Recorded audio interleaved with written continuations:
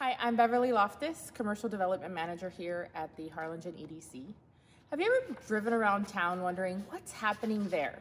Well, I'm here to give you a quick update on some of the commercial construction happening around town. First, TJ Maxx. Everyone's wondering, when are they gonna open? So if you've driven by Target, you've noticed TJ Maxx is now under construction. And construction should be complete sometime after Labor Day, with hopefully an opening date soon after that. TJ Maxx hasn't announced when they'll exactly be opening, but we hope to hear from them soon. So behind Cheddar's, you'll notice a new retail professional plaza, which has about 8,000 square feet of new space with two drive-throughs at the end of each side. So hopefully we'll have some possible restaurants and some office professional retail space. Then we have Reina's Texas Style Barbecue, opening soon, sometime near the end of July, beginning of August. Can't wait for those delicious mouth-watering ribs. Off 77 Sunshine Strip, there's also a new Sun Valley Rehabilitation Healthcare Center that's being uh, built. That one is hopefully soon to be open sometime uh, in September with um, possibly 100 to 200 jobs um, at full capacity. School is almost in session come August, so Idea Academy is ready for your 2021 school year.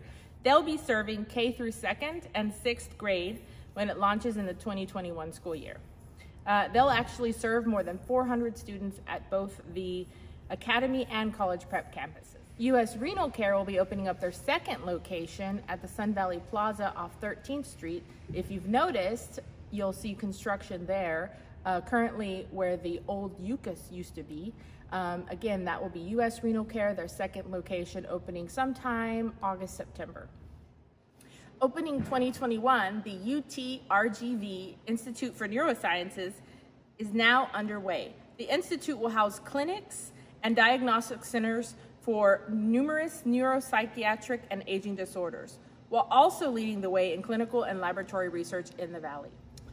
Opening in the 2021 school year, the UT RGV HCISD Early College High School will have a groundbreaking ceremony soon, sometime at the end of this month or early next month, to commemorate the start of construction. And who doesn't love a bargain? Soon, Harlingen will have another Dollar General store at the corner of Morgan Boulevard and Rio Hondo Road. Construction should be done within 90 days, and hopefully soon, we'll be able to shop a new bargain. And finally, the Hilton Garden Inn Harlingen Convention Center is just about complete, and they are now accepting reservations November 3rd, 2020 and beyond.